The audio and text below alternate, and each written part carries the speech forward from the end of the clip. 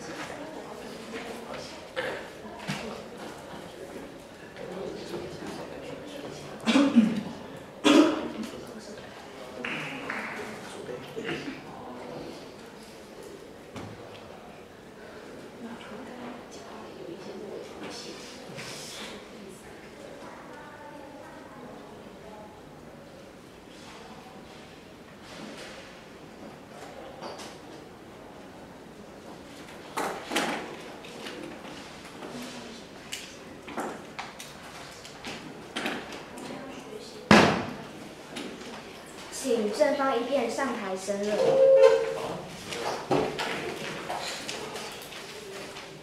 问候在场各位，我国普通刑法最高刑为死刑，然而死刑的存在一直有很多争议。在此，我方认为我国普通刑法应废除死刑，以下分为两块论论述。第一点，我方认为一个死刑犯之所以会犯下错误，有一部分原因是由社会造成。每个人出生时都像一张白纸，其价值观或是一些观念，则是由成长中所受到的教育与环境所交互影响。因此，死刑犯所之所以会犯下这样一个不可挽回错误，或者心态扭曲，这个社会也应要负起一定责任，而不只是单单怪罪于他。举例来说，犯人陈进清，人人喊打，但有多少人知道他童年时被父亲虐待，关在狗笼里抚养，甚至还强奸他？这么偏差的成长环境，才造就他残忍性格。少他一颗子弹，完成理所当然的报应，才是最不负责任的方法。如此一来，对社会并没有任何实质注意，对犯人也只是一种消极的做法。我们要做的不是以错误的应报方式来完成自以为是的正义，而是还给犯人成长中所缺少的资源与待遇。第二点，我方认为应告对于一个死刑犯来说，并未令其负起应有责任。死刑虽然可以让被害者家属认为他受到应有的惩罚，但对于一个社会来说，一个罪大恶极的人不应该只是让他以死谢罪，我们更应该让罪犯正视自己的错误，负起实质上的责任。从另一方面来看，当他一死了之，社会也无法负起原本应负的教育责任。社会既然造成了罪犯价值观偏差，我们更应该主动负起责任，设置一些劳动服务，让犯人透过工作的形式以及宗教感化，渐渐去矫正他的偏差行为。例如，澳门监狱有关爱设计服务计划，让犯人主动关心长者，从心底去检讨自己的犯罪行为；再者，透过了狱中劳动，让犯人回馈社会，并使其真心悔改。而我方提出的配套措施为无期徒刑不得假释，在这样的情况下，我们可以保证不会有再犯的情况发生。如此不仅能令犯罪者在狱中反省。而且狱中所得到的劳动所得的金钱，也可以用于自己要负担的精神成本，而劳动总金额也会提出百分之二十五补偿给被害者家属，使罪犯能够负起应要对受害者所负的责任。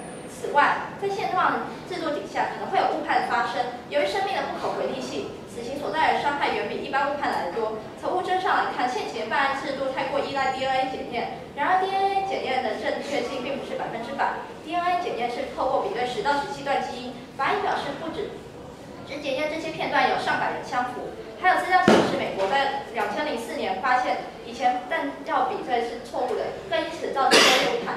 由此可知，在证据的呈现上，错误是在所难免的。从人身上来看，根据心理学资料显示，证人在回溯记忆过程会因记忆模糊而错认错误的认知，再者加上警察可能以诱导性问话得到想要的结果，导致证词错误，最后在法官物证出错的情况下，人证又不是真实的共识。最后做出的判决难以避免误判的发生。另外，根据资料显示，死刑往往有经过多层上诉，花费了许多司法资源，甚至会比无期徒刑来得高。所以，我方在金钱上是比较有利益的。最后，我方资料显示，死刑和威慑力没有任何关联，甚至很多结论显示没有任何统计资料可以支持死刑具有威慑力，甚至死刑会造成残忍效应，使人民以为自己可以替代正义处罚罪犯，造成更多的社会动荡。综上所述，我方认为，我我国普通刑法应废除死刑，改采终身监禁，不得假释。谢。申论时间三分二十八秒，请反方二辩上台质询。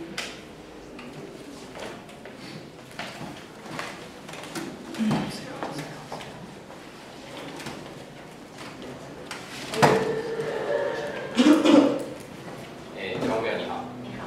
好，关于关于您刚的的。申论我简单做一个整理。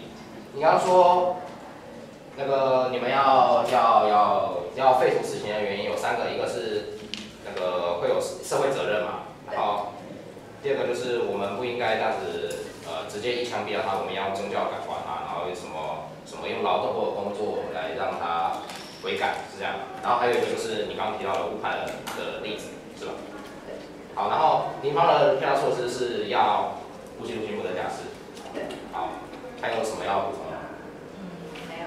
好，那先从第一点开始讨论，关于社会责任。您方所说的是，我们今天这个人他杀人，他他那个他是因为受到整个社会的影响，所以去杀人。那如果我今天举一个举个例子来讲好了，假设连胜文哈，连胜文他如果今天去杀人，我们还需要负这样子那个再教育的？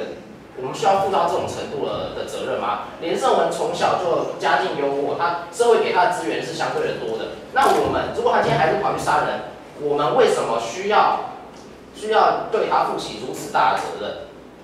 嗯，我方认为说，嗯，因为社会，呃，之所以会造成这些错误，嗯，因为有一部分原因是社会造成的。或许你好是是社会造成的没有错吧？那连胜文也是社会造成的，我们也给他很多资源。那在您方的您方的论点里面是说，这个人如果他去杀人，因为他是社会造成的，所以我们应该要教育他。但是你可以告诉为什么？如果像连胜文这种人，我们已经给他了很多资源，为什么我们还需要对他负到这么大的责任？嗯，所以你呃，所以我方只是认为说，呃，在。很多很多社会，他是否受到足够社会资源，并不是表面上看起来就是那个样子。嗯，假设说你今天好，那关于刚举那个例子，你是说他从小被打弹嘛？连胜文从小他没有被打弹，他家境优渥。好，他家境优渥嘛，那我们是不是可以就是就是这样说？连胜文他从小他受到的社会资源是比较多的，而且林芳也不否认我我说连胜文那个他负责他他从小受到的资源是比较多的。那如果今天连胜文真的杀人了，我们是不是可以一枪直接毙掉他？您您方不否认嘛？对不对？我方否认的是死刑这件事本身，呃，会造成很多不可挽回的错误。好，那好嘛，那先讨论第二点，第二点，那个关于您刚刚讲的劳动还有工作，还有宗教感化，你可以举个例子吗？然后您方刚有提到说，你的劳动的成本可以弥补那个他在他在监狱里面的什么食衣住行的各种费用，那你可以提出一个准确的例子跟我们讲吗？就是，对。在劳动里面的话，我们主要是以劳动服务，就是他可能好，做那你刚刚说的劳动成本的部分，你有你有准确的数据证明说你的劳动成你劳动所带来的效益会比你那个会比你关在里面的花费还要高吗？有这项吗？有资料可以。好啊。好，方便我下去吗？请台上辩士停止发言，可以，谢谢。请反方意见上台申论。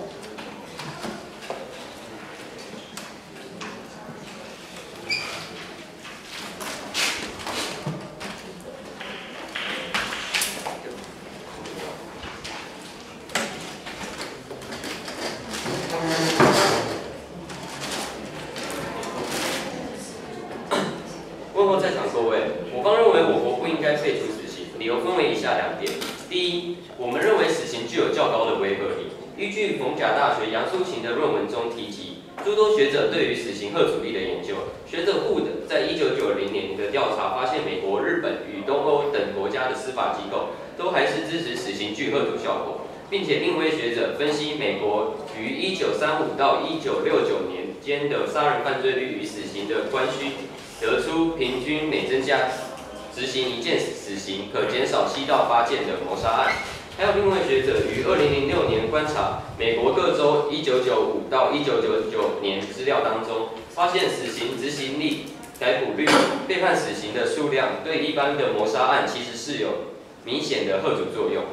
回到台湾现况，根据法务部统计年报年报指出，台湾在九十四年到九十八年没有执行死刑。然而，相较于未执行死刑的年份，九十四年到九十八年的杀人罪件数却有增加，代表若不确实实行死刑，犯罪率将大幅上升。这代表犯罪率和执行死刑的恶阻力呈负相关。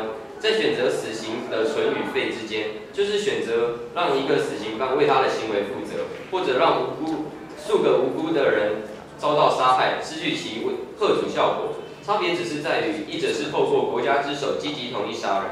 而另一者则是消极的放任行凶者杀人。即使我们同意生命无法弥补的，但若选择死刑废除，便是让更多无辜的人受到生命的威胁，其同于选择间接杀入许多无法弥补的生命。第二是我们认为死刑符合应报，人犯错本来就必须受罚，犯了严重的罪就应该受到严厉的惩罚。例如陈进兴，他除了性侵以外，并且在整形。后杀人灭口，手段残忍而变态，在马马桶上开枪射击蒙面又被捆绑的医师夫妇，并且把旁边的女护士蒙面杀害后，并且奸尸，这种令人发指的罪行，需要用他的生命来负责。而除了人民应该对自己的行为负责之外，国家也有告诉人民哪些行为是有罪的，有罪的程度有多严重的义务。换言之，刑法的存在有对不法行为的宣示效果。若没有死刑的印报，当面对陈进兴这样穷凶恶极的罪犯存存在时，我们会没有一个适当的罪行去宣示他的罪责。综上所述，我方认为我国不应废除死刑。我的 申论到此结束。申论时间两分四十秒，请正方三辩上台质询。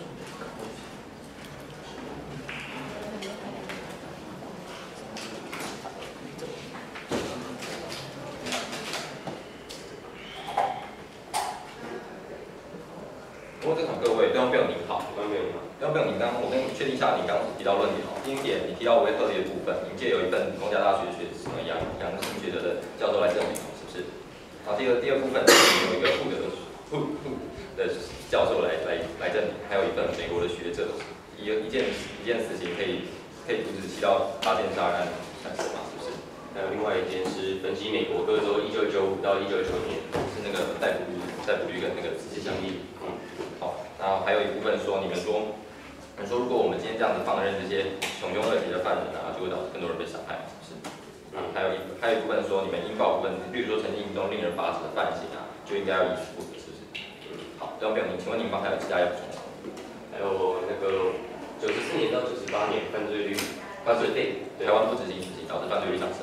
好，对方没有，那对方没有，请问您方还有补充吗？没有。那今今天讨论刚好在这里面，好，没关系。那我们对第一点都对方没有，里面一份放在那边资料可以去看一下。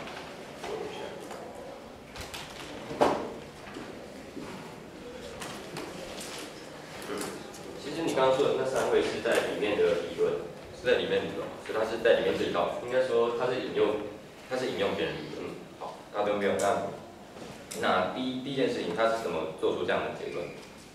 他上面有写啊，你看我们一起念，好，透过根据透过回归的结果可以计算出，所以他是下面还有好，例如呃没有没有，我是我是在认这个东亚大学我们先就先就第第一份。逢逢甲大学里面就是引用很多学者，好，没关系没关系，我们先就先就他第一个结结好，第一。个第一个，嗯，嗯，好，那对方没有，你说它是这个回归分析，所以它是一个数据上的分析嘛？嗯，它是单单借由数据上的，它是借借由解释数据上的明显的趋势来做分析的嘛？你说的数据是，就是杀人杀人案跟跟跟凶杀案的那个比较。嗯，它上面有写，就是你应该要看前面那一页，它上面有写社会变数，就是说他有考虑到各个因素，例如呃，呃没关系，没关系。然后我们来我们来看，我们来看一下。比方说绿学者，绿学者他说用最小的方法。呃，第一，请问美国这这一份是一九四零跟一九五零的资料，这已经是将近六十年前的资料。然后没有为什么六十年前明显社会明跟现在明显大不同，再加上它还是美国的，就没有我不理解为什么这样资料可以沿用在台湾。呃，不同的，都没有不同。时间上明显差别很时多。间时间不同，代表它的制度不同了吗？它不应该说代表它制度不同。哦，对，没有，可能是我说明不清楚，好，没关系，那我补说明。那那是说，那说这一九四零、一九五零的美国的州嘛，好，那我们来，那那我那我问你个问题，基本上美国州基本上有些用枪的，有枪，有枪，而且我们可以看到很多很多很残忍的犯行的产生嘛，是不是？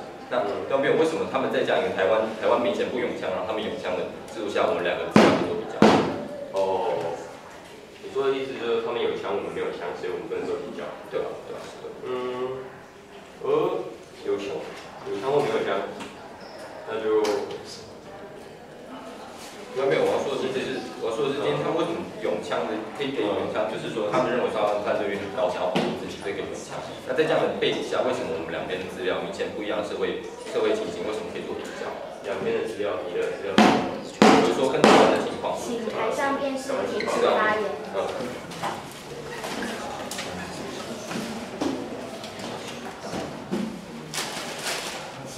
三二月上台生日。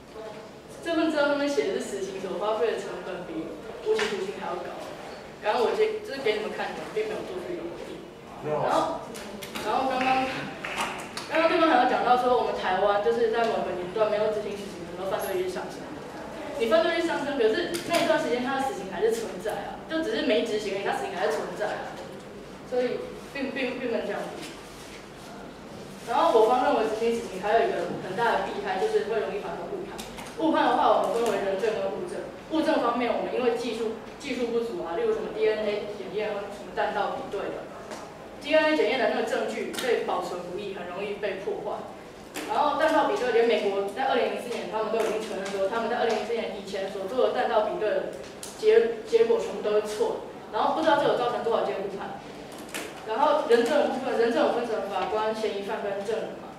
那么嫌犯，你们我们有那个自白的部分，有可能是受到逼供，逼供，因为有的时候甚至犯人本他本人并不知道他自己在被逼供，就是可能他们看电视啊，觉得就是要什么打人啊、星球啊才叫逼供，可是就或许他们没发现自己在被逼供。然后证人的话，我们证人记忆效应，或或是他们有可能会警警方因为证人记忆并没有很清楚，然后警方进行诱导性的问话，然后变就造成记忆证证人讲的证人讲出来的并不是完完全全就是正确的事实。然后法官的话，法官如果上上述的人证跟物证皆不正确的话，那法官又如何依照这些不正确的证据判出一个最正确的判决？判决会失调，而且目前我们现在有些法官已经承认他的判决是错的，有就包括法官自己的经验，或是法或是外界的舆论，然后造成法官的判断错，法官已已经有人承认了。而且法官他收到的资料是借由检察官跟律师的第二手的资料，然后来进行判决。那万一比如说其中一方，比如说现在辩护律师他就是很烂嘛，然后他讲的不如检察官好，可是其实事实不是这样，就因为辩护律师比较烂而已，然后这样法官就因而听信检察官的话，而判成而判成一个错误。而我方认为，我们不应该执行死刑的，是因为我们要负到社会责任，我们要进行再教育。因为他人性就是每个人生出来都是纯洁的嘛，那你后来会做出什么事情，是因为我们这个社会给他形塑而成他现在的这个人，所以我们社会应该要负起责任，把他就是把他再教育好。那如果这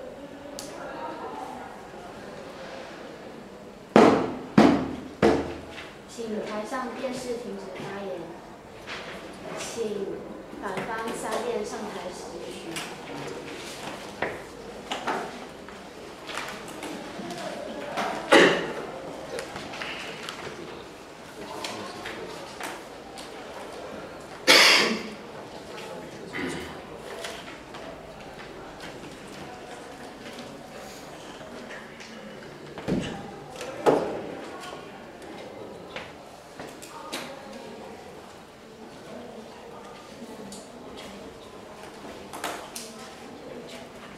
嗯，这样对。嗯，你们刚刚提到，嗯，很多，嗯，比如说有 DNA 啊，弹药比对，或者是人证的记忆突然的提升到频繁，对不对？对那你可以告诉我们现在有实例吗？就是呃有误判，因为这些呃可能错位可能性而发生误判的例子。可以可以用来对。那我先问你，嗯，那我问你，有人说我们社会应该要负起那个教育，呃，教育罪犯的责任，因为他们的错是，呃，有可能是因为社会影响的，对不对？对，有一部分是我们社会造成的。那我们要付出多大的责任？我们应该要付出多大的责任？我们至少就是把他的价值观念导正回来。那如果他现在就做去杀人，陈是因为建新这种例子，他出去又在犯，就出去又在犯，出去又在犯，然后强奸了多少人？可是陈立新他从小家庭有阴影啊，他爸把他关到狗笼里面养他，甚至还强奸他、那那他那法官在判决的时候，如果他心他家庭真的有阴影，他法官就会根据十大量刑来决定他是否要被判到处以死刑的罪嘛？十大量刑是这种，这刑法一出来的时候就已经有十大量刑这个东西了。可是十大量刑一直存在，但我们之前还是有许多误判的案例的。所以十大量刑每个法官，十大量刑只是一个框架，你们要法去检验法官到底有没有做到十大量刑这个东西。法官是一个受到专业训练的，嗯，对，专业训练的那个。可你不能否认他还是有行政。对，那我们应该比较相信法官，很相信这点，应该是比较相信法官。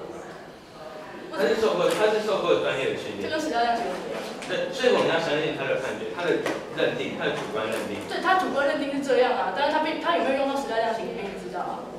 法官在受到训练的时候，他就他就被训练说要用时代量刑。可是他只是被训练要用来参考，他有没有参考，你知道吗？没那个。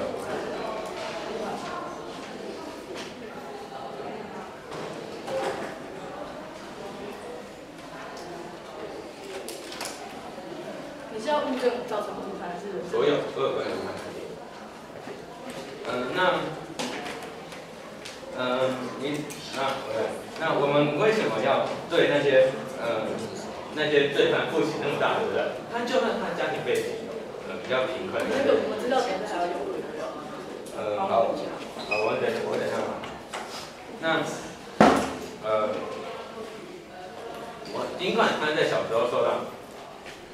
呃，如呃，他被他爸强奸之类的，但是我们给他教育普及，给他呃改过的机会。我们在他关进去之后，再呃在他刑期满之后再重新放出来，就是在他一开始犯错的时候，我们继续让他在确定无法教育之后才判决。你为什么知道他无法教育？你关的时间根本不够啊。所以关的时间。他可以装乖哦，我你现在教育我，哦好，我很乖，我很乖，就把我放出去了。那其实我并没有完全没有办法改变。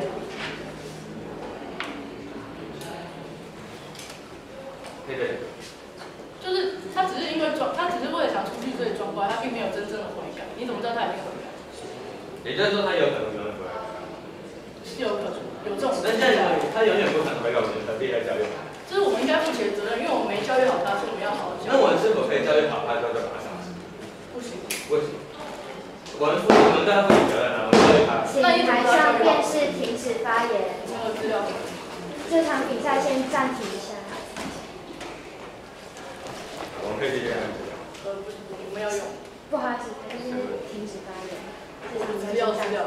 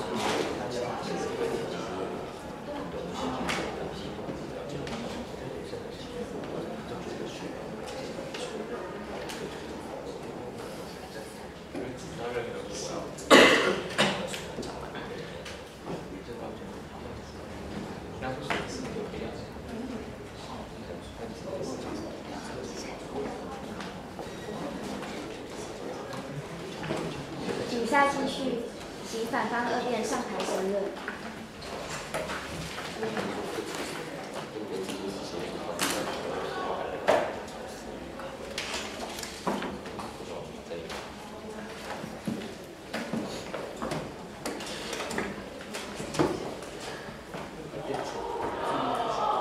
大家好，好，关于关于刚刚正方所提到的误判的案例，根根据我们刚刚看到他的资料上面，他们主要是有两个，一个是郑信哲的案，还有一个是苏建和案。然后先先讲先讲苏建和案好了，苏建和，都没有被判处死刑，只有检察官要求法官要给他判死刑这件事。然后苏建和是，他也是一个成功翻案的例子，所以我不认为这个苏建和会是对方对方的因为误判，所以造成我们要废除死刑的这个案例。然后再来是郑信哲，郑信哲案他他误判的点是，他们正方觉得他们误判的点是在于说，郑信哲在案发的时候，他的脚是他的脚是受伤的，然后。他没有办法把他行凶的枪就这样子摆到那个被害人，那被害人被害人的被害人旁边，但是在法官的在法官的判决书里面有写到，法官考虑到的点是郑信哲有可能犯案之后，他把枪直接丢到那个尸体的旁边，对，就把枪丢到那个罗武雄的旁边，然后用这样的。这样的一个条件来判断那个郑信哲是应该要被判死刑的，所以我也不认为对于郑信哲案件，那个正方有所谓误判应该要废除死刑的一个例子。然后再来是。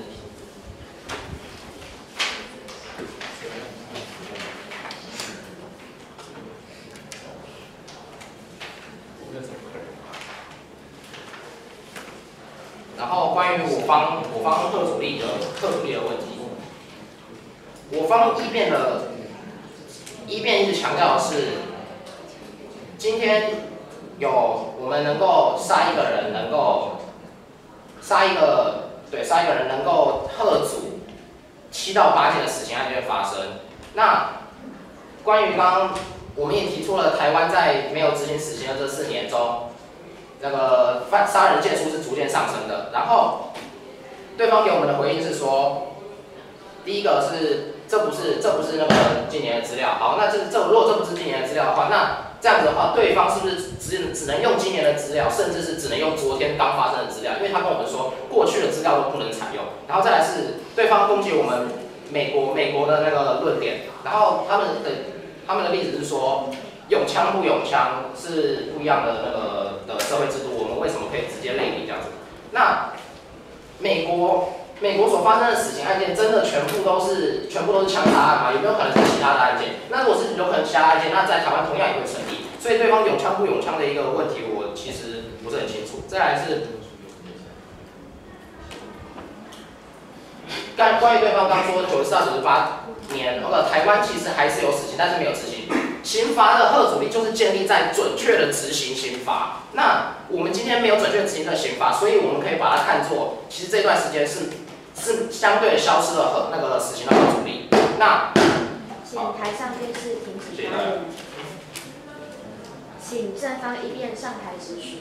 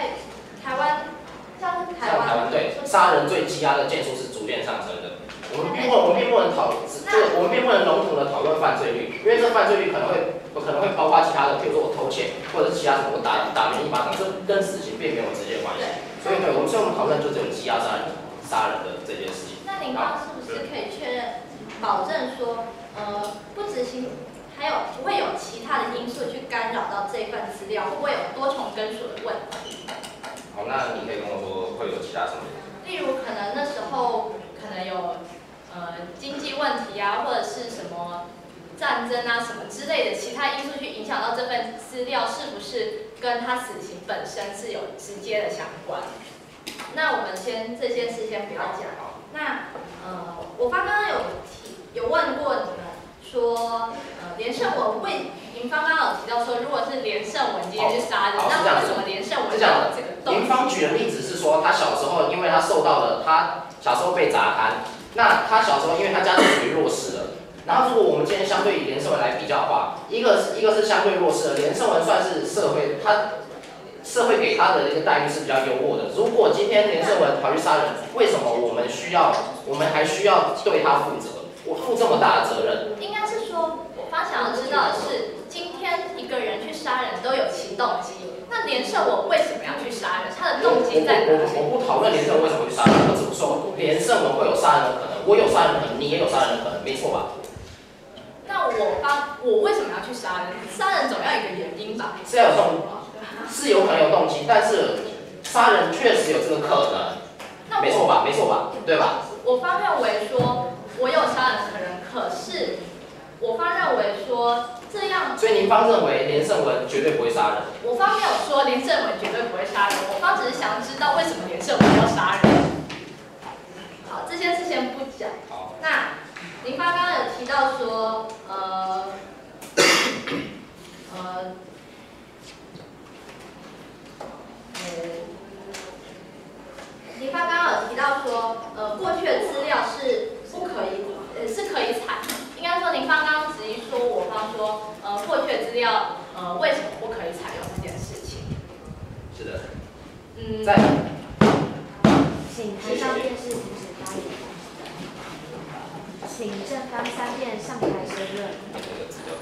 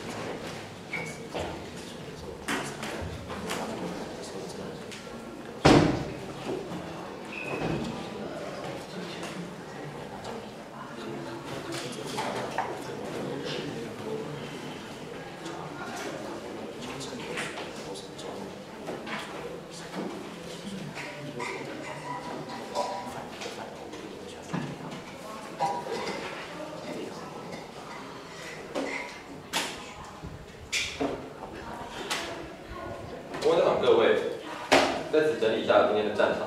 今天正方所提到的是说，今天正方所提到的说，第一，我们要善尽那些我们过去未曾尽到的社会责任，然后因此我们要再继续教育他，然后我们是透过无期徒刑不可减轻、不可假释的方式来教育他，然后还有提到说，死刑这样子误判这样子有可能会威胁到人民生命权这样的弊害，这样子是死刑的弊害。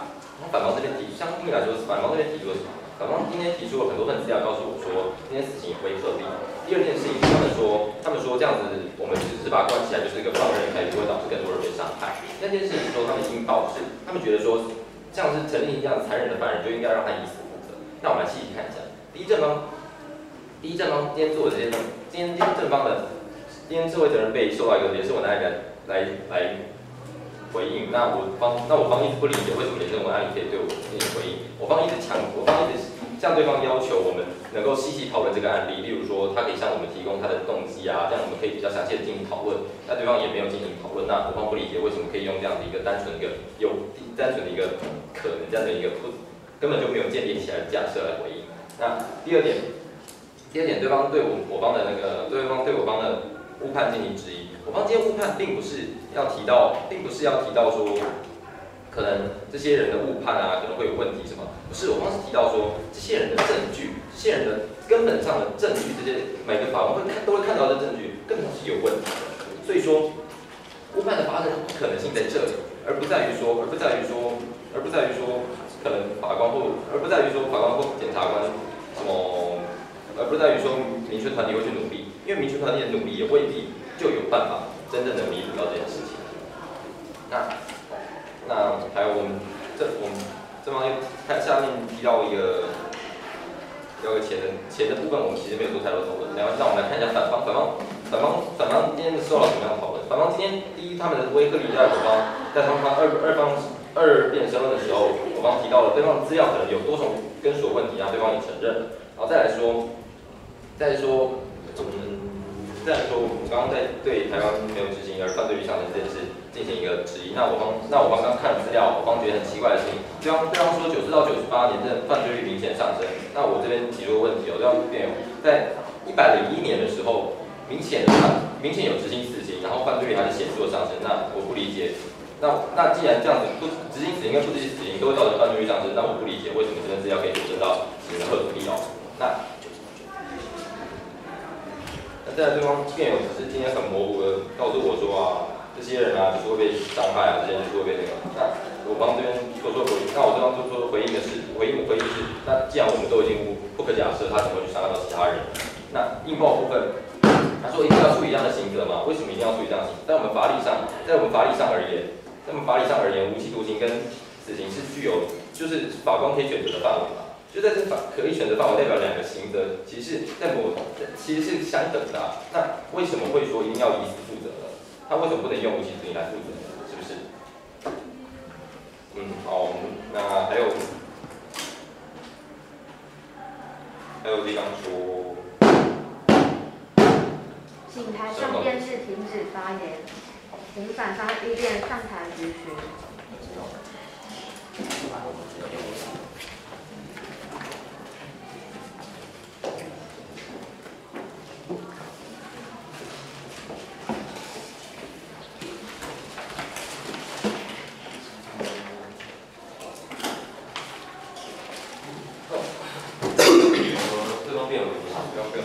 所以你们刚刚你所所在场整理说，你们社会责任负起社会责任的就是实行在教育，对吧？这样对，我们就有。而你们又说，呃，那个无期徒刑不得假释，对吧？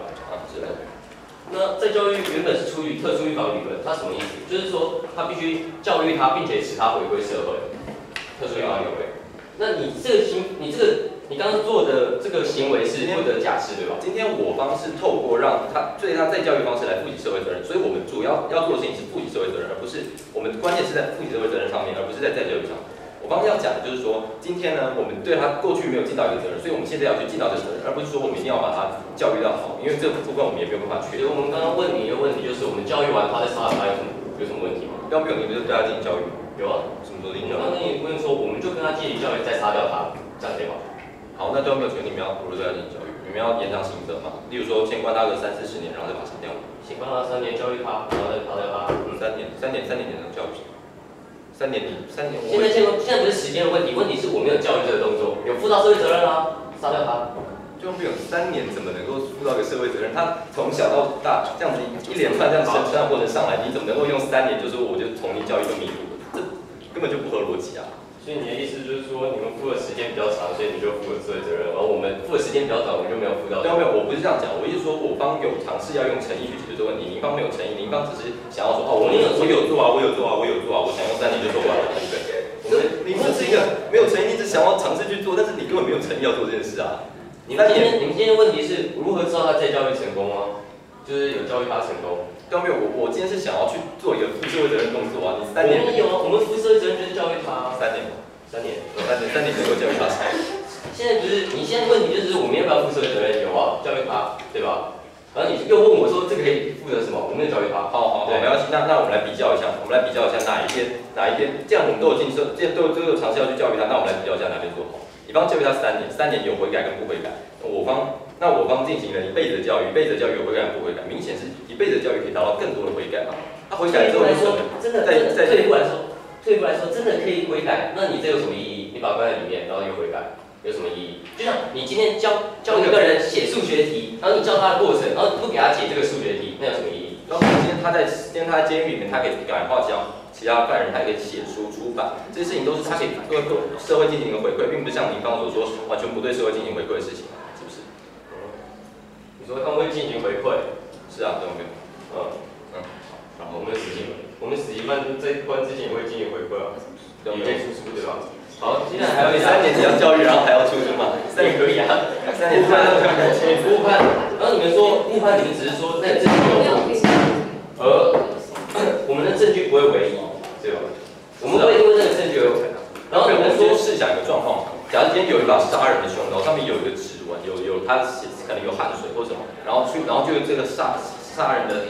杀人凶刀上面的汗水去做检验，那这明显得到那得到的就是错误的结论。那我们这样一个关键性证据，然后就是错误，这样就导误判的发生啊，是吗？这是唯一的。我们可以用其他例子啊，有人证有物证，如果三个都有的情况下，不用不用，台上电视停止发言。对吧？请反方三辩上台申论。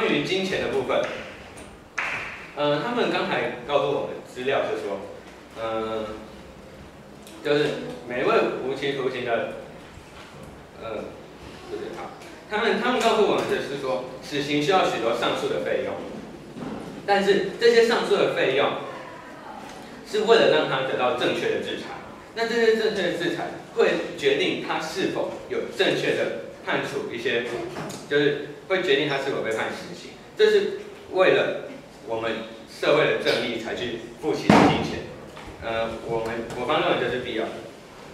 那再来，呃，我方的后主力，呃，就是除了正方，其实也没有做什么很大的拆解。那他们他们只有告诉我们说，他是有很多个呃面相去做出来的，但是。那既然它是由学者进行各方面归纳出来的结论，为什么我们要选择去相信它？所以我方还是认为死刑是，呃，就是杀一个人可以遏阻许多谋杀的发生的。呃，那关于应报的方面，正方说不一定要以死以死来负责，就是在那些罪大恶极的人，不一定要以死来负责，但是。印报其实不只是让犯人为他们自己的行为负责。如果今天有人犯下了滔天大罪，而政府却无法将其做出相对应的刑罚，那要如何向人民诉说这滔天这滔天大罪不被允许？请台上电视停止发言，请正方二辩上台质询。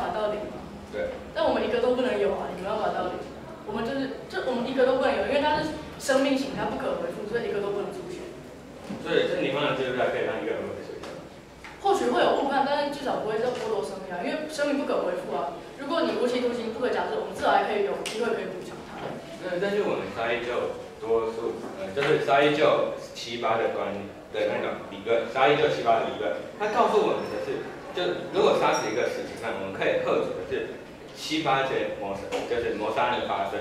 那我们尽管很不愿意杀死那个极小的几率而被误判的人，但是换来的代价是可以让这个社会得到那个。所以你这个这个社会讲说他罪大恶极，所以我们处死他。不是，就是就是一种。我们现在是不是要处死一个罪大恶极？如果他真的罪大恶极，恶极我们就要处死他。对。那这样你这样在你这样是会造成社会大众认为说一个人罪大恶极，我们就应该杀死他。那我认为你最大二级，我是不是就可以自己杀了你？然后再跟别人说哦，因为我觉得你最大二级，然后你也跟我说最大二级就应该杀了他。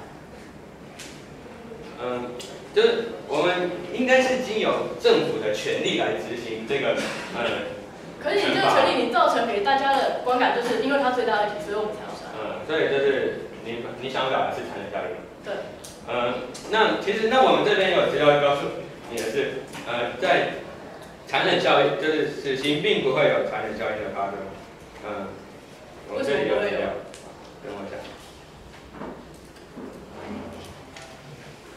没关系，那我就问下一个问题。你刚刚说家庭不家家庭很好的人，为什么我们要再教育他？那他家庭很好，那只是物质上的生活。我刚刚已经讲过了，就是他心理层面可能有扭曲，就给你很多钱，对你很好，但是你心里还是扭曲啊。我给你一千块，我叫你去吃一顿饭，一顿饭给你一千块，可是我不能陪着你。可是你我其实你心里想要是就是有人可以陪你。就是我讲是心理层面的，不一定全部都是物质层面的。那我们现在讲一个很有钱的人，然后他可能就是嗯，他住在高雄，那他一个很有钱的高雄人，那我们到底为什么要负起责任？我就是那假如他杀了人，我们到底要为什么要负对他负起责任？他有钱，搞不好他心里有阴影啊。所以你觉得我们社会上每一个人都应该去陪他？啊？就是就是你说我们就是我们应该负起责任，因为他会犯罪，我们那他心里有阴影，我们就应该去矫正他。就是他他心里扭曲，我们就应该矫正他。那我们到底要矫正到什么样的程度呢？你还真的就是以前都没有。这所以你是问我我们要负起多大的社会责任？就是我们要一直在教育他，我们要去改变他的他的观念。所以负到无限大。越多越好。对，就是尽可能的负起责任，就像陈丽丽这样子，在他假装反悔再出来，然后再上来再进去，然后再教育再出来。出来了，我们就我们就我们就无无期徒刑不可假释，我们不会让他出来。无期徒刑不要假释。我分配到说这是无期徒刑。对，但是那这样，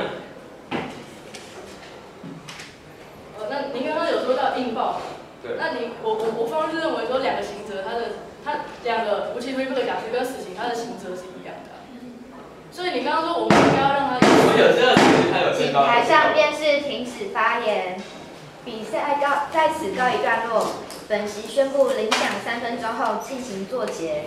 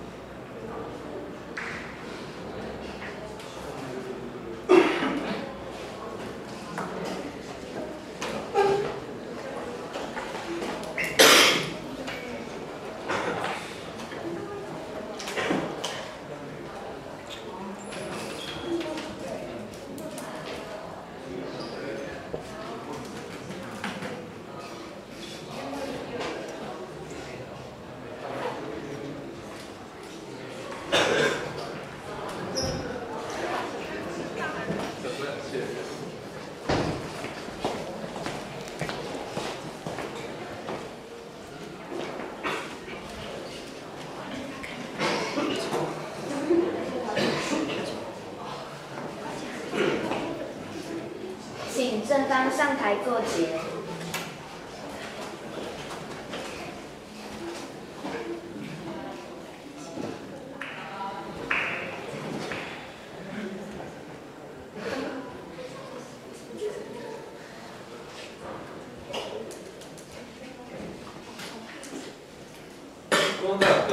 在什么到最后的阶段，我们来撇开，我们撇开今天的战场不谈，我们来看一下两方的价值。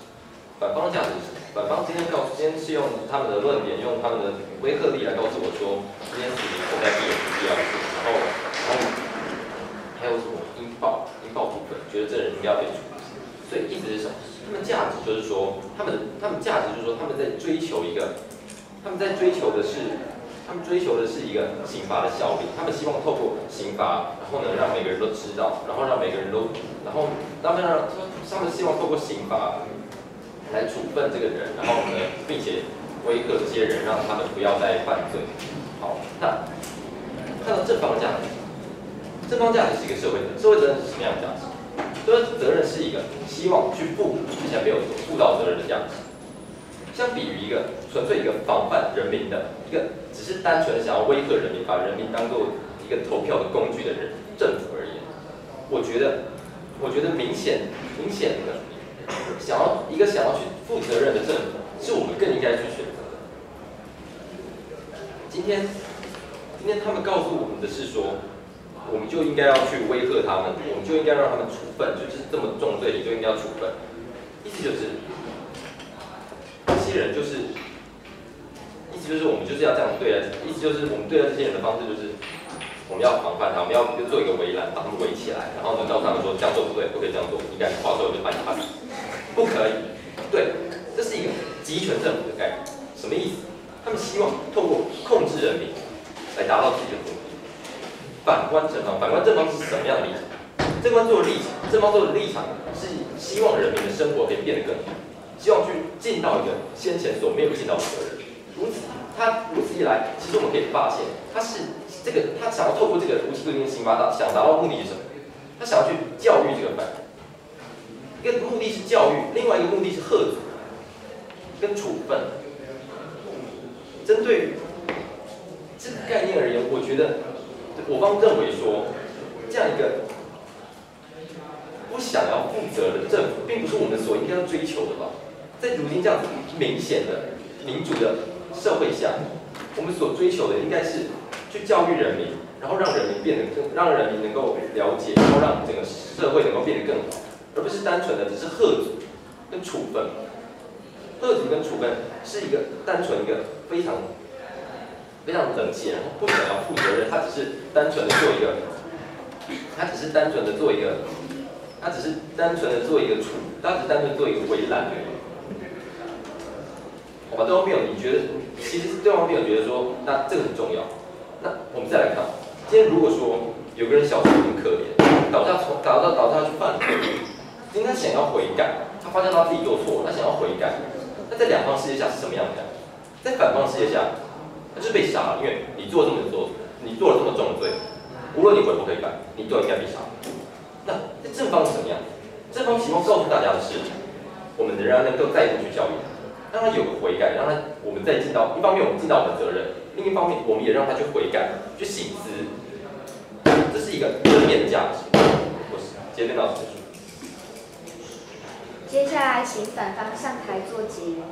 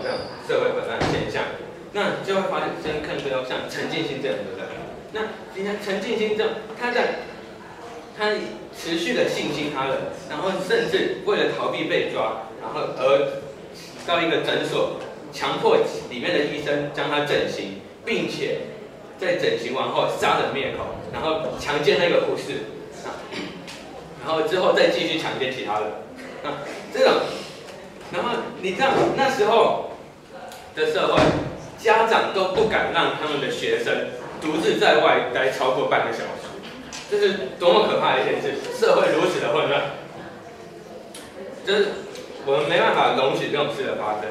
那是，是为了社会的安定，我们不能放弃我们刑法的后主力。但假设这个社会连死刑都没有贺主作用的话，那我们不再害怕被判处死刑。我们杀人可能只是因为一个极微小的目的，就像今天的辩论场上，也许只有一队能够胜出。那这推到后来，我可能就变成只有一个人能够活着走出这个辩论标准，因为输的那一方可能就会进行情绪的压力而杀掉整个这个辩论场上的人，因为死刑不再具有贺主力了。就是我今天杀了，我不怕死，没关系。这这样的社会，我们绝对不能容许它存在。我刚写点到底，对。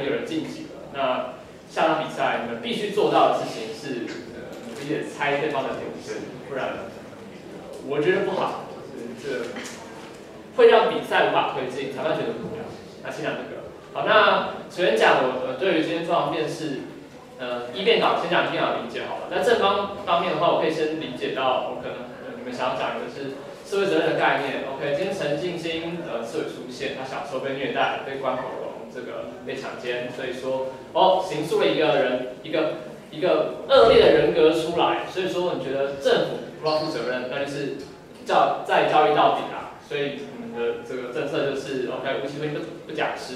那提出的第二个概念就是这个误判这件事情，你觉得 OK 就是就是现在的法律可能周延吧，举了 DNA、弹道、警察可能误导等等的东西，想要证明误判发生的可能性。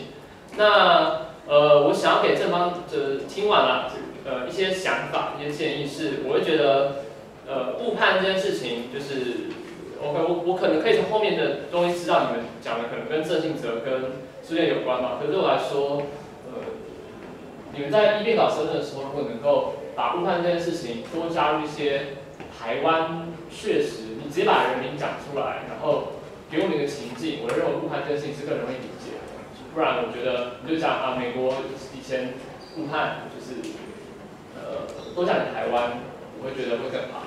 那反方的话，呃，能理解的是有关于这个，第一是威慑力，这个，第二是这个引爆，就是你们觉得说这个有些人做错事了，没办法，这个死刑就是要彰显到这个国家的力量。那威慑力方面举了一些资料来证明说，OK，就是比如冯甲论文，这个曾经这个美国这个发现，哎，原来杀一个人。呃，杀死一个死刑犯，原来可以杀鸡儆猴，不能到杀一儆百，能够警七到八个人，OK，能够理解我的论点。那所以这场比赛的主要争点，我认为在三个地方。第一个地方是威慑力，第二个是这个误判，然后再来是有关于社会责任这个方面。我认为比较关键在这这几个地方。那来看我是如何去解决的。首先就是先 argue 威慑力这件事情，就是。反方今天这个开了一个战场，OK，就是大家必须知道，死刑是具有威慑力的。那所以说我们保留死刑，不然会有些人这个没了死刑之后继续杀人。那对这方面，这个正方同学有没有拆解的？一点点。怎么说呢？就是 OK，就看了一下，然后是回归分析，呃，看了一下，哦，哎，这个这个美国跟台湾社会大不同啊，这个怎怎么可以这样做对比呢？这个我会觉得啊，我会觉得啊。就是这进猜票的时候，呃，是可以猜深的。比如说，你们可能提到了一个对立的，呃，你说的是什么什么什么多重根除，哦，可能这个发生这个威慑力，呃，这个威慑力下降，这个别的原因，杀人犯罪率上升也可能有别的原因。比如说，可能经济这个出了困难吧。那我认为话要说完，就是你们当你在说的，就是哦，可能是那个时代经济比较好。这个所以说，犯罪比较高的时候，你最好能把那个时代的脉络讲出来。我会觉得说这样是比较有效果。比如说，如果美国他拿的是一九二九年附近的资料，OK，那可能可以理解成是美国经济大萧条的时候，就很多人自杀的那个很慌乱的情况下，OK，大家很穷，可能会杀人。如果是一九五零在一九六零年代，哦，原来这个那个时候可能在打冷战的时候，OK，那整个国家把尽全力要放在科技研发了，所以说那个时代可能治安管这个管的不好。如果发生在一九七零年代，OK，那时候可能是新自由主义这个的猖獗的时候，这个柴契尔夫人跟雷根因为石油危机，因那个时代经济很差，所以说他们削减了社会福利，只为了能够这个能让经济发展，OK，可能没有顾到这个犯人。那那 OK 做完整的这个拆解，那个时代时代背景，所以那个经济可能跟现在不能类比，我认为是完整的拆解。那如果没有拆解，呃，如果只有说一半的话，那就是差一半。就是呃，我得说，就是今天在于威慑力这个方面的话，这个这个反方是稍微略胜一筹的，我因为就是确实能够保留这个。我可我可以这这场比赛我可以想象，威慑力有留一点。那。呃，再来来讲第二个部分，是有关于这个误判的部分。那这个是正方开的，就是呃，你们说的是对，因为种种原因，所以说现况我们必须面对一个问题，就是法律这个不一定完善，科技这个可能不美满，可能会误判情发生一样。我认为反方在这场比赛当中对误判的拆解，这个也也很糟，就是呃，比如说啦，我我有印象的是，可能呃某一个申论的拆解可能是二辩，那你说的就是啊，这个苏建和呢是因为什么检察官不想关他，然后这个郑信哲呢是这他把枪丢到那边去了，所以说那个误判这个不能这样算，我我听不懂，就是我不知道在你你想要表达什么，就是就对我来说这一段这个呃很空，就是我我可以想象你可能想要拆解，可是我认为拆不到点。如果要拆误判这件事情的话，我会认为你们有一轮执询的时候做的事情反而是比较对，就是呃给给一个实境，要一个实例，就是去确实去要说，就是呃这件事情在台湾是怎么发生的，或者是正信则案，你们要么就是进那个情境去跟别人讨论整场案情的发生过程。然后去讨论说，对啊，那人证物证如果都到位了，那是要就是真是确实杀人哦。如果人证物证没到位了，那是没有误判了。我认为进那个情境讨论是比较有效用的。那我认为你们这场比赛做的是相对不到位的，所以误判这方面，那正方就就就掌有这一块的利益，因为这个我认为相对完整，反方拆拆解相对无效。那 OK，那就是卡在这了，就是。这个双方各各赢各执一死，那该怎么办呢？那就要回归到呃，这个你们在结辩的时候要怎么讲？这是这样比较难评的地方，因为这个比赛没有推进，就是我我很难去评这场比赛。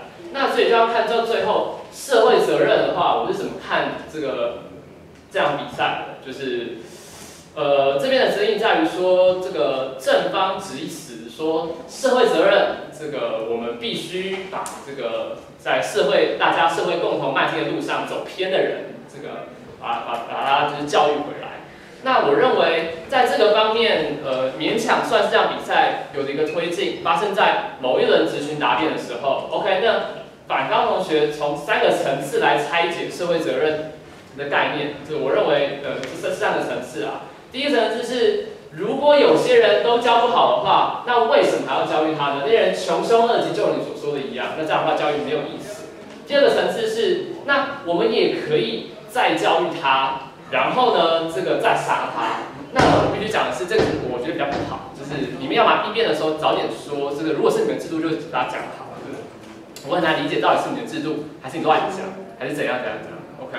那第三个层次是，呃，如果不会放出来的话。那你再教也没有用，就是你只是教教他，你你你说的好像价值很高，事实上你就还是在那边这个教教摸摸头说，你看他变乖了，所以比较有价值。三个层次，呃，我认为这一个拆解在这个指甲辩是非常关键的，原因就在于就是到最后结辩的时候，呃，这个在做比较的时候，那。在实然层面，我认为双方这个这个这个没有办法比出来了，所以我就只好从你们的双方的价值来看这场比赛，我该选哪一边不好选，老实说。那呃，就来看结辩到底是谁讲的好喽？就是这个正方同学的结辩，呃，这个我相当钦佩，这个你你直接很愿意的把双方的东西拿出来，就是我。我相当欣赏在说，你指出今天正反双方的价值是这个有存在的。正方的价值是你们觉得是应该把这件事情做到好，社会责任是该做到好，把每个人这个教育他们，让大家悔改，让他这可能彰显价值。那你也指出反方同学的价值可能呃相对比较冷血的，你认为他们是这个只要有人做错了，那就杀死他。那你觉得这个这个东西是两相比较之下？你的政府更负责任，是你觉得你想要的价值。OK，那回到反方呢？反方同学觉得这个，呃，你们觉得啦，就是道德者的律己不能律人。这个为了更崇尚的威慑力的价值，价值，你们觉得人能少死就少死。这个你们觉得这个我们必须透过国家的一个手段来让，呃。这个更多无辜的人免于性性啊哎两个价值出现了那怎么比？那我认为刚刚社会责任那个拆解就会变得有效。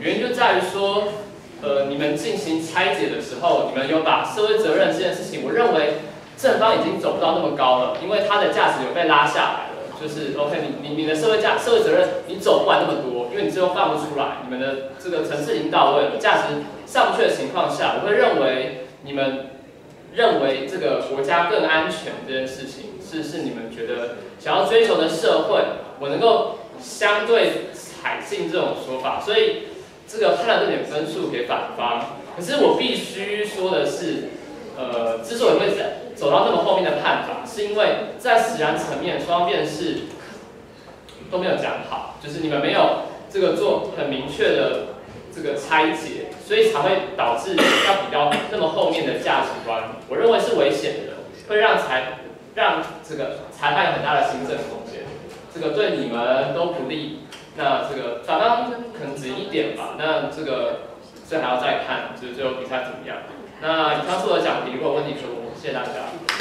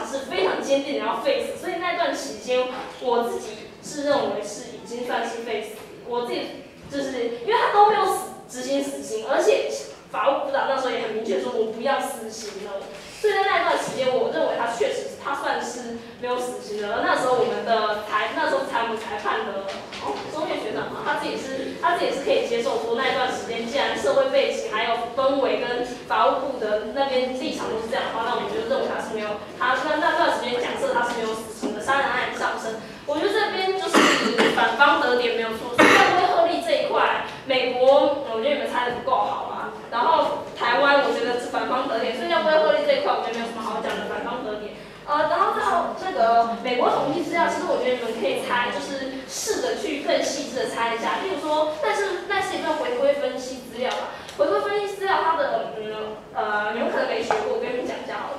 回归分析资料它是用统计学做出来统计学你要先做一个假设然后假设这假设跟你最后采用的区间是有很大的关系的。就是你的假设就是它的区间是这样子就是有六呃九十五趴、九十九十五趴、九十七趴跟九十九趴，然后跟他的假设，他的呃他取哪一个区间，能能不能拒绝这个区间而落在哪一个部分，跟他的假就是。他取的他的假设设的是很有关系的，你们都可以去看他。就是例如说，他假设到底是设的是设的是死刑案的上升，死刑案呃废除死刑之后无助于他假设假说是废除死刑之后无助于无助于杀人案，跟废废除死刑之后有助于杀人案这是不一样的。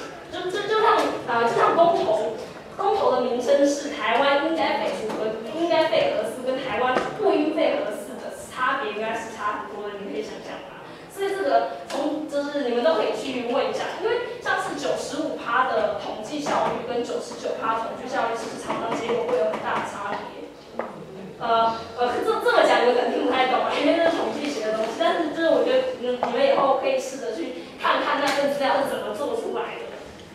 对，然后再来就是呃误判这一点，误判这一点，首先呃我觉得正方得点啊。啊，为什么我觉得正方得点呢？啊，你们讲说呃 DNA 有误，DNA 有误啊，弹道呃二零零美国说二零零四年之前弹道比对都是错误的，包括法官承认的错误等等，还有心理学一些东西，啊，我还蛮能接受的。不过我觉得有点可惜，就是像法像是法官承认的错误，啊，你们啊，我记得我就是有一本书叫《杀戮的艰难》啊，里面也有好两三个法官都承认自己在判死刑的时候。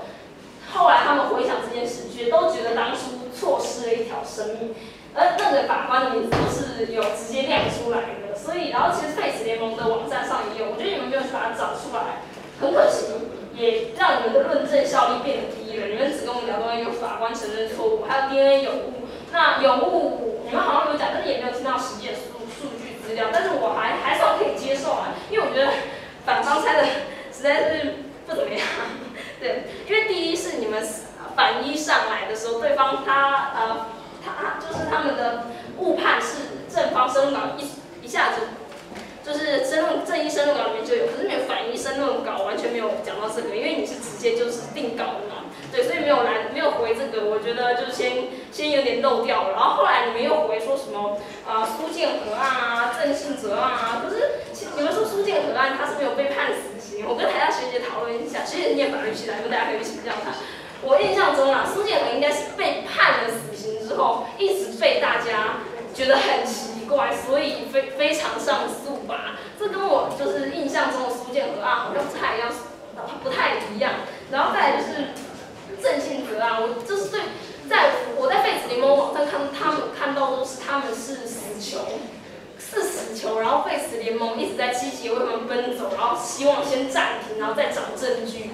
对，所以你们这两个案例都跟我就是印象中还印象中的那个有有点大的落差，我觉得怪怪的。而且后来没有听到你们在在那个回应，对，所以这一点我觉得就是呃算是算是正方得点，对。再就是最后社会。社会责任这一块也是我最后蛮犹豫一点，就是到底要把这个得点的得字写在哪一方？对，因为正方一，呃，正方你一开始开篇立论，而且花了蛮长的篇幅，甚至你们一直到后面一二三篇到前面都一直在讲社会责任这一块，说你们觉得他们是有很大那个，然后反方也拿连胜文的，呃，连胜文出来跟我们讲说，那这样子的人也不是全部的人都是这样杀人吗？我觉得反方我可以理解你们的意思啦，但我觉得有点蛮可惜的，就是，呃，连胜文毕竟他还是没有杀人嘛。如果你们可以拿那种杀爽的，他家境幽默，但就是杀爽的例子，告诉我说，啊，就是有这种人啊。因为，呃，因为其实正邦也只拿一个陈静心出来讲啊，虽然这种案例很多，但他们也只拿一个陈静心。啊，你们如果也可以拿一个，甚至拿多几个，也是家境优渥的例子，然后去把人家乱搞一通。嗯就是，然后后来没什么回应，然后就是他家他好像去调查，他们没什么问题，他就是只想杀人。那这样子说服，对我而言的说服力就会强很多。因为你们用连胜文这个案例跟我讲，然后甚至还问我，还问对方说，你们觉得连胜文一定不会杀人吗？因为我我觉得蛮就是，你知道我不太能想象那个状况，感觉就是连胜文就是不会去杀人。一个正常的人，我也可以跟你保证，我大概这一生都不会去杀人啊。就是对啊，就是我我反而很不能想象的，你很很不能让你们想象说，呃，那那多少这样子家境优渥的人，甚至在死囚的比例中是占多少？他们从小就过得幸福快乐，还要去杀人，所以你们才觉得罪大恶极，根本没有必要为付出来什么社会责任，因为他从小得到就够多了。这点我觉得说服力不是很够了。然后再来就是正方，你们有讲到说，呃，你们一开始的申论稿中有讲到说劳动百分之二十五趴给被害人啊，然后剩下负担他自己的啊，但是呃，我觉得这点有点可惜啊，就是你们其实这点比较偏向对于受犯罪受害人的保护方面，但是你们除了就是针对被害人这一块，你们除了申论稿一开始有讲，后面也就没有讲了。如果你们后面能够多讲一些，呃，多讲一些就是关于。他在里面反而他在里面，然后反而跟反而就是这样子靠自己的一些忏悔啊、行动啊，最后多最后得到了就是被害人家属的原谅啊，甚至我记得好像还有例子是什么，就是杀害他儿子的，就是那个妈妈跟杀害他儿子的凶手，就变成了干干干儿子、干妈干妈这样的关系嘛，反而是就是。算是算是妈妈失去了一个儿子，又得到一个儿子，也算是一个圆满大结局啦。这种资料明明就蛮多的，我我就是有没有去找，有没有讲，真的觉得很。对，不然你们这一块正方申论稿都有都有写，然后没讲，所以我觉得很可惜。那因为你们后来也没讲，所以我然后对方也没有问什么，所以我也也没有特别放在心上。对，然后最后你们讲到了，最后让我看了一点点，真的一点点的论点分数的地方在于。啊、两边开始吵，两边开始吵说，呃，到底怎么样的行责，对于到底是到底是无期徒刑不假释，完全剥夺自由更符合应报呢，还是彻底剥夺生命权更符合应报呢？两边也没有一个特别，两边也没有，最后也没有给我个结论，就告诉我说，你就告诉我，啊、呃，正方这边告诉我说，为什么不能用无期徒刑？为什么不能用无期徒刑来替代呢？反方就说，我觉得生命权就够了，就是我觉得死刑就死刑就可以偿还了，就是两边一个各说各话的状，各就是各说各话的状况，哎，让我觉得有点有点可惜。就是大家如果能够多去，就是找一些专利，可能专专家断言吧，或之类都好。就是这种东西本来就是没有，这种东西本来就很难特别讲好，就是你只能拿一些专，除了除非你有很猛的口语传达传播能力，不然你就去找一些专家断言说这些犯罪学啊、心理学啊上面的专家是与其同的观点，他们也是觉得法或者是法呃呃法法学者，他们也是有同样的观点，觉得说呃无期徒刑就够了，就够抵。就够偿还这个他他犯下罪，还是不死刑才够偿还这个罪？这是这也是我觉得很可惜的。最后，其实我呃，其实我非常想听到两边你们跟我讲说，到底是教育之后把他关起来好呢，还是教育之后把他杀掉好呢？因为听起来两者好像都。好，也不会再回，反正两两边都不会再回归社会了嘛。那教育的用途到底哪边可以起到比较大的用途呢？我也觉得蛮可惜的，都没有听到两边的回应。呢，我最后，最后我听了正方的价值啊，我觉得，嗯，在前面论述了那么多，这样讲起来，尤其是，尤其是是好像有确切这种案例，而且他们，他们是就是算是怎么讲？从小生长环境很糟吧，然后而且在于误判误判这种情况，误判这种情况是明显的情况下的话，希望希望不要为了不要为了那一点点的误判，就是他们后来有讲说有误判，但他们可能是为了社会安定，就算我也不知道是不是误判，反正好像是吧，反正他好像有判这样嘛，那我就把他杀掉，因为我为了保那十八个人，而你们的价值是你们的价值是误判一个都不能误判一个都不能有。那我就觉得说，那宁愿，那宁愿在这样的情况下，不要，是不要那么相怨的，相怨的就算是相怨的，为了保那未知的七八个人，所以就把一个根本不明不白的那一个人杀掉。我觉得我就选择，我选择的最后选择的是正方的价值，的价值就是再教育他，再教育他们，然后而且保留一个还有机会翻盘的机会吧，差不多差不多是这样。所以最后那其实我也是纠纠结了很久了。对那是那一块好呃然后但是因为我现在就看你我也是觉得太太轻薄了所以我也就只有给你们零点五分还是一分吧。我个人认为是不妨碍比赛结果的所以最后比赛结果还是要看双方的电试成绩这是最后算是我自己一个我比较能接受的价值判断我比较不能接受是反方所说的为了保那七八个人所以我不知道他是不是怕做了就让他是误判我要杀鸡儆猴的为了那七八个人所以就把他杀掉我比较能够接受正方的大概就是这样子。有问题的话现在都不敢问我谢谢各位。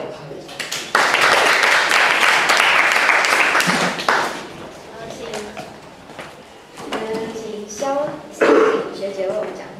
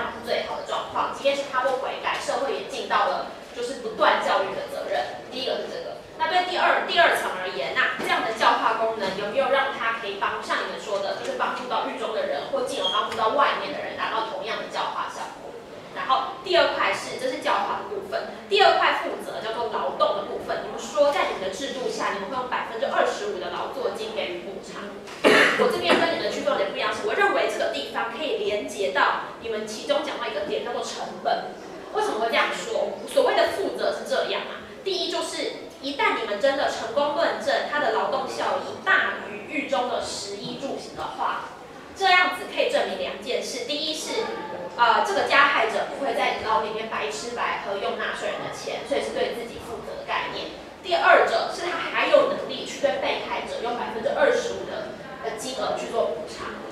所以我觉得你们这两块可以连在一起讲。对是第二块负责部分。那第三块你们去处理误判我觉得就是这你们的误判觉得资料还蛮好的。然后你们觉得第一块叫做物证的部分就是科技上无论是 dna 或弹道上都有误判的可能都不会达到百分之百准确。那在人证的部分嫌疑犯跟证人。那我觉得就是证人这个地方，你们是用逻辑式的推导说啊，他的记忆会模糊，会有诱导性问答，可我见这有资料，就把资料名称注解上去会。对对，就是我觉得可以讲，就是就像你们讲弹道误判的几率是多少一样，去讲。我记得有一个资料是什么，证人的其实指证错误的几率有多少多少多少。对对对，类似的一样，就不要只是就是念念念断言。对对对。大概是这样。然后还有嫌疑犯的自白跟法官的行政。好，然后你们的最后一块成本，我刚刚已经混到第二块去讲，所以你们的最后一块去讨论说，就是所谓你们后来讲的成本效应。那我自己觉得啦，就是这个地方当然是像前一位学姐说的，就是因为你们一遍稿没有太多时间去处理。不过我其实一直认为，你们在最后三遍的很末、很末段，或者在结辩的时候，可以比较尽力去处理这件事情。原因是因为这比较，就是这才是一个最偏向价值的地方，就是我觉得你们可以把社会共犯结构跟残忍效应合在一起，在你们最后论述，然后等下会说为什么。好，是正常的部分，那我认为反方的异变稿架构相相相较起来就单纯很多，反方前面有两块。第一块就是你们认为死刑跟谋杀率或死刑跟呃执行死刑跟杀人件数，不论在外国或是台湾都有很大的正比关系，去证明死刑危害性。那我也要加许反方，这个地方资料举的蛮足的，所以我认为就是今天在威吓力的部分没有什么好质疑的，原因是因为正方。忘了提出一些执行的资料，譬如说有一些有没有一些罪大恶极的人，就是告诉大家在访问的时候就告诉大家说，哦，我就超怕死，我进来就是为了怎么样怎么样，你关我反而比较怕什么的，就你要提出这些去跟他稍稍抗衡一下，不然就会觉得威赫利这个地方被反方吃的蛮好的，这是反方第一块。第二块反方呢是叫做刑法有一种宣誓效果。而这样宣誓效果要有罪刑相当的概念，就是你犯了什么罪，国家给你处以怎么样的刑责，然后再推到你们认为这样才有预一般预防理论，让大众害怕的功能。好，然后就是这大概是反方的这两块，接下来要进入攻防。那我觉得是这样，就是呃今天比较重要的攻防，我觉得第一部分叫做划线。为什么我这样定呢？在正方的架构里，反方其实有去逼你们说啊，负责多久叫做足够，负责到什么程度叫做呃叫做可以被接受，还有逼你们去划线。就像反方不是用超荒谬的口气跟你们说，那我们教化他三年再把他杀掉，算不算已经有负责？是不是有负就都有负？其实我觉得你们这边可以就是正面的去回应，就是为什么你们觉得？一定要负责这个人的一辈子叫做足够。其实我听到你们小小的有点反应，就是说因为社会影响，它不是只有影响几天而已，类似这样说法。那我觉得可以去补，因为我觉得既然这是你们提出的论点，你们就要负责在你们的制度下面告诉大家，你们要做到什么程度，为什么要做到什么程度，需要性是什么，那可以解决什么。我觉得这是划线的地方。同样的，反方也应该要受到正方的挑战来划线，可是这个地方正方没有挑战。我说的是宣誓效果的地方，原因是因为这样子，就是我们都知道，如果我们呃，比如说我打伤了你的脸，我不一定会受到你呃，你也不能在刑罚下打回来给我。同样的，我今天撞了你，我可能只是同样，我今天杀一个人，也不会立即被判处死刑。就是刑法上的法理，它的罪行相当的横平，不是在以牙还纯然上的以牙还牙。那在你们的状况底下，宣誓效果要达到多么接近以牙还牙，叫做够了。譬如说，你们认为为什么死刑要存在？那如果照你们说，杀了一个人就要用偿还生命啊，为什么杀一个人在现今的法理上，即便死刑存在，但不一定会，几乎不会被判死刑？对，我觉得这是如果正方。呃，不知道别场有挑战的话，这是你们要去思考的部分。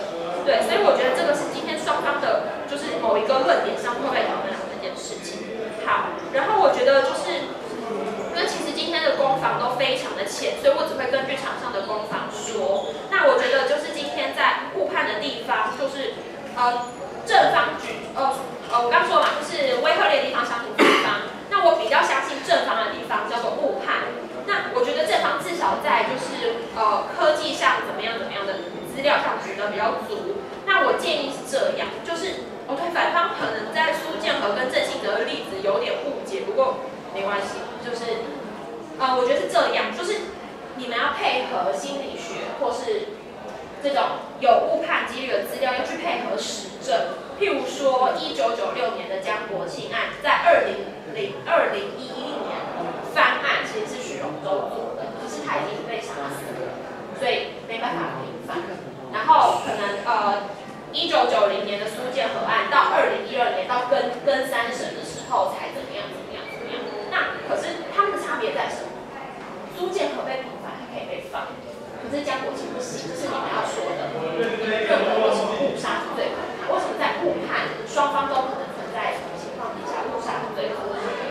然后在今天呃二零零二年的郑信泽案里面，那明明就是他有被刑求的迹象，又或者，哎我我有看一下资料，他刚说所有的科学证据弹道跟手上的火药的痕迹都跟郑信泽的不符合，可是，在这么近十年内的例子，法官还是判处他死刑就是就是明明有极多的疑点可是只是因为在那个 ktv 包厢里有警察过世所以法官就会比较极力的想要在行政上或在什么上面需要判处的时候就是为为什么就是就是在你们状况底下你们为什么不能够忍受这件事情？我觉得你们要就是不断的去论述误判，无论在啊比较科学或者理性的说法上的状况是怎么样。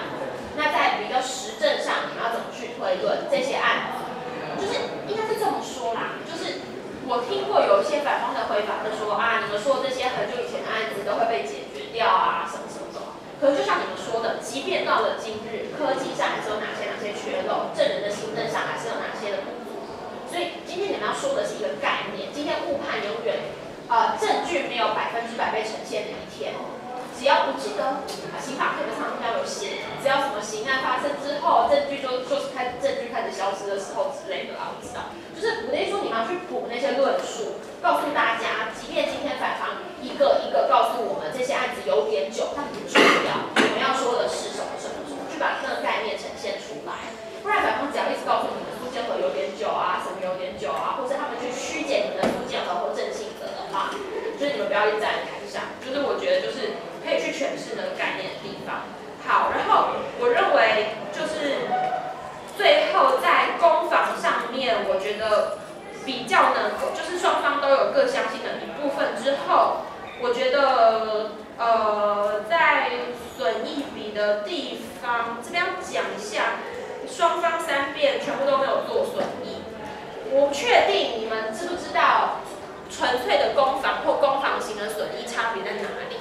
是这样的，就是如果你们很确定你们今天场上的攻防已经强到几乎每一点都可以打掉对方的时候，你们三边大可以很放心的就做纯然攻防上的损益比啊，比如说在这一块，那你这边说什么，我们说什么，所以这边我们得点什么什么。可是今天在攻防不明确的状况底下，你们如果一直吐跟二边一样攻防，我觉得两边的损益我都没有办法接受，我觉得没有效果。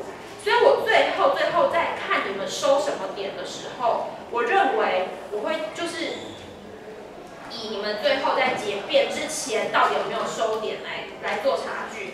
我觉得在正方的地方，就是你们你们的说法一样，再去回归社会共犯结构的地方。那我为什么刚刚在前面的时候告诉你们说可以配合残忍效应？原因是因为你的说法就是今天有一个人犯罪，就是社会应该负责。所以，我们今天的做法，除了在犯罪之后社会应当负责之一呃之外，在犯罪之前，我们是不是要减少犯罪或是残忍效应的发生，才能得呃才能达到这叫什么？才能达到治本的效果。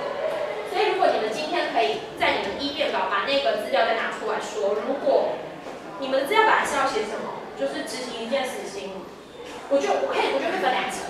第一件事是因为反方都会说执行死刑可以让被害者家属或社会的群体激愤得到舒缓，对不对？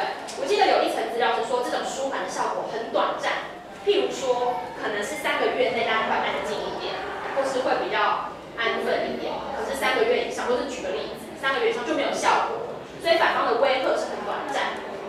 第一个是舒缓效果很短暂，第二个是不止舒缓效果很短暂，那残忍效应的延续是长怎么样？然后这样才能相延续，跟你们说，就是社会要去负责，要去保护，要去教化，是互相违背的。我觉得最后在就是价值上的渲染，